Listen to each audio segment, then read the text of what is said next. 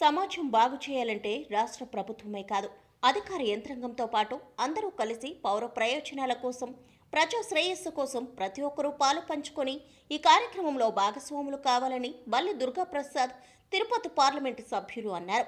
రాష్ట్ర మాజీ ఆర్థిక శాఖ మంత్రులు వెంకటగిరి నియోజకవర్గం శాసనసభ్యులు ఆనం రామనారాయణ రెడ్డి మాట్లాడుతూ ఒక వినూత్నమైన కార్యక్రమం తీసుకుని ప్రపంచ దృష్టి దినం అనేటువంటి ప్రపంచవ్యాప్తంగా దేశాలలో రాష్ట్రాలలో గ్రామాలలో ప్రతి ఒక్కరికి కూడా చక్కటి కంటి వెలుగు ఉండాలనే తపనతో ప్రపంచ దృష్టి రోజున మొదలైన రాష్ట్ర ముఖ్యమంత్రి గారి ఆలోచన ఆంధ్రప్రదేశ్ పదమూడు జిల్లాలో ఐదు సంవత్సరాల పసిబిడ్డల దగ్గర నుండి మొదలై పెద్దవారి వరకు కంటి వెలుగు ప్రసాదించే కార్యక్రమంలో దాదాపు ఐదు కోట్ల మేరకు ఖర్చు చేస్తూ ఐదు కోట్ల ముప్పై లక్షల మందికి ఈ కంటి వెలుగు పరీక్షలు నిర్వహించి వారికి ఆపరేషన్లు చేసి కంటి అద్దాలు పంపిణీ చేస్తామని అన్నారు.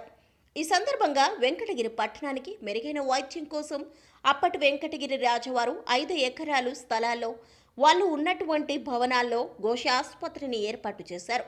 కాలానుగుణంగా వచ్చిన మార్పుల వలన భవనం శిథిలావస్థకు వచ్చింది. కానీ ఆ తర్వాత వచ్చిన ప్రభుత్వాలు నిర్లక్ష్యం చేయడంతో ఆ ఘోషాసుపత్రిని పిహెచ్సి సిహెచ్సిలుగా విడగొట్టి అక్కడక్కడ చిన్న భవనాలు పెట్టడం జరిగింది.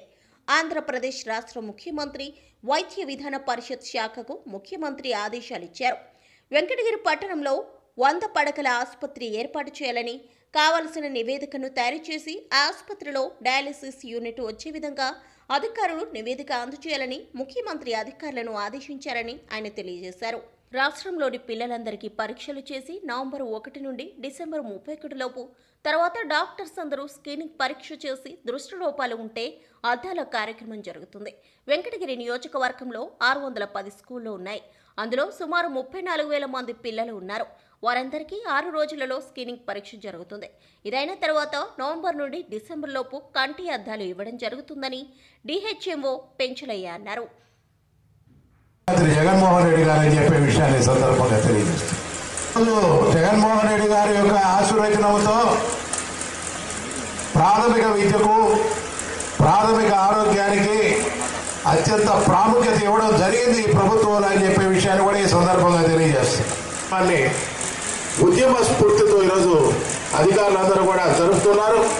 ఆయన ఒకటే చెప్పాడు ఈరోజు మనకున్నటువంటి సమాజాన్ని బాగు చేయాలంటే కేవలం ప్రభుత్వం ఒకటే కాదు ప్రభుత్వంతో పాటు ప్రభుత్వంలో ఉన్నటువంటి అధికార యంత్రాంగం నాయకులు స్వచ్ఛంద సేవా సంస్థలు పత్రికల వారు అందరూ కూడా బహుళ ప్రయోజనం కొరకు ప్రజా శ్రేయస్సు కొరకు అన్నిటిలో బడుగు బలహీన వర్గాల అభ్యున్నతి కోసం నిరంతరం పాటుపడేటటువంటి కార్యక్రమం.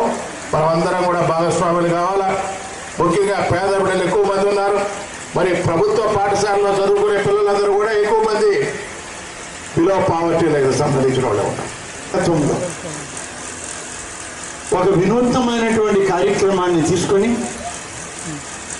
ప్రపంచ దృష్టి దినం అనేటువంటి ప్రపంచవ్యాప్తంగా అన్ని దేశాల్లో అన్ని రాష్ట్రాల్లో అన్ని గ్రామాల్లో అన్ని ప్రాంతాల్లో ఉన్న వారికి ప్రతి ఒక్కరికి కూడా చక్కటి కంటి వెలుగు ఉండాలనేటువంటి తపనతో మొదలైనటువంటి ఈ ప్రపంచ దృష్టి దినం రోజు ముఖ్యమంత్రి గారి యొక్క ఆలోచన ఆంధ్రప్రదేశ్ రాష్ట్రంలో ఉన్నటువంటి పదమూడు జిల్లాల్లో ఐదు సంవత్సరాల పసిబిడ్డ దగ్గర నుంచి మొదలై పెద్దవాళ్ళ వరకు కూడా కంటి వెలుగుని ప్రసాదించే కార్యక్రమంలో దాదాపు ఐదు వందల అరవై కోట్ల రూపాయల మేర ఖర్చు చేస్తూ ఐదు కోట్ల ముప్పై లక్షల మందికి ఈ పరీక్షల ద్వారా వాళ్ళకి అవసరమైతే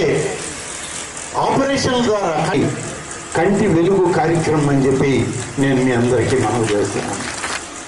ప్రభుత్వం ప్రభుత్వ ఆసుపత్రుల్లో అనేక రకాలుగా ఈ పరీక్షలు చేయవచ్చు కానీ దీన్ని ఒక క్రమ పద్ధతిలో ప్రతి ఒక్కరికి జరగాలి అని అంటే ఐదో ఐదవ సంవత్సరం వయసు కలిగిన వాళ్ళు ప్రైమరీ స్కూల్స్ నుంచి ప్రారంభమై హై స్కూల్స్ జూనియర్ కాలేజెస్ అక్కడి నుంచి సమాజంలో ఉన్నటువంటి అన్ని వర్గాల ప్రజలకు కూడా ఇది చెరువు కావాలని చెప్పి మూడు భాగాలు చేసినటువంటి పరిస్థితి.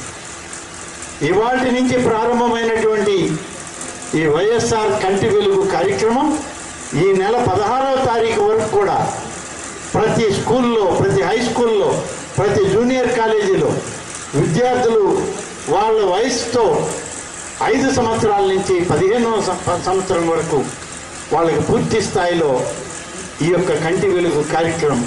ఇంత పెద్ద ఎత్తున ప్రచార కార్యక్రమం నెరవేరుస్తూ ప్రతి కుటుంబంలో బిడ్డకి చక్కని కంటి వెలుగు ఉండాలి.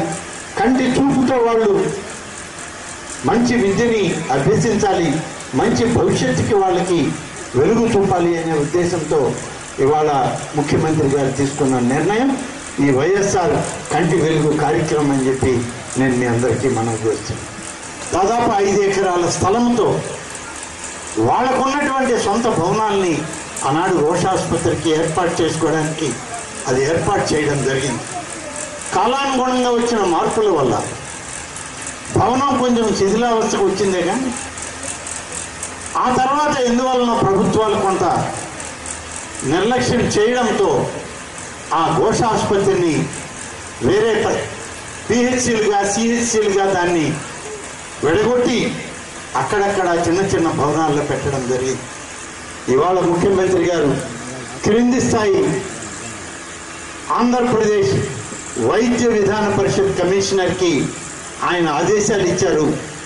వెంకటగిరి పట్టణంలో వంద పడకల ఆసుపత్రిని ఏర్పాటు చేయడానికి కావలసిన నివేదికలు తయారు చేసి ఆయన ఆ ఆసుపత్రిలో డయాలసిస్ యూనిట్ కూడా వచ్చే విధంగా మీరు నివేదికను తయారు చేసి అత్యంత తొందరగా త్వరితగతిన ఈ యొక్క నివేదిక నా చేంబర్కి రావాలని చెప్పి ముఖ్యమంత్రి గారు ఆదేశాలు ఇవ్వడం జరిగింది. రోజుల వరకు రాష్ట్రంలో ఉన్న స్కూల్ పిల్లలందరికీ కూడా పరీక్షలు చేసి వాళ్ళకి నవంబర్ ఒకటి నుంచి డిసెంబర్ ముప్పై ఒకటి లోపు తర్వాత స్పెషలిస్ట్ డాక్టర్లందరూ పరీక్ష చేసి ఈ స్క్రీనింగ్ అయిన తర్వాత పరీక్ష చేసి వాళ్ళకి దృష్టి లోపాలు ఉంటే వాళ్ళకి కంటెద్దాల పంపిణీ కార్యక్రమం జరుగుతుంది మళ్ళా. కాబట్టి ఖచ్చితంగా విద్యార్థులందరూ విద్యార్థులందరినీ ఇక్కడ మన నియోజకవర్గంలో ఆరు వందల పది స్కూళ్ళు ఉన్నాయి. ఆరు వందల పది స్కూళ్ళలో కనీసం ముప్పై నాలుగు వేల మంది పిల్లలు విద్యార్థులు చదువుతున్నారు. వాళ్ళందరికీ కూడా ఈ ఆరు రోజుల్లో స్క్రీనింగ్ పరీక్ష చేయడం జరుగుతూ ఉంది. ఈ స్క్రీనింగ్ అయిన తర్వాత నెక్స్ట్ మంత్ నవంబర్ నుంచి డిసెంబర్ లోపు వాళ్ళ వాళ్ళకి ఎవరికన్నా ప్రాబ్లం ఉంటే వాళ్ళకి డాక్టర్ దగ్గర పరీక్ష చేయించి తర్వాత అద్దాల పంపిణీ కూడా చేయడం జరుగుతుంది.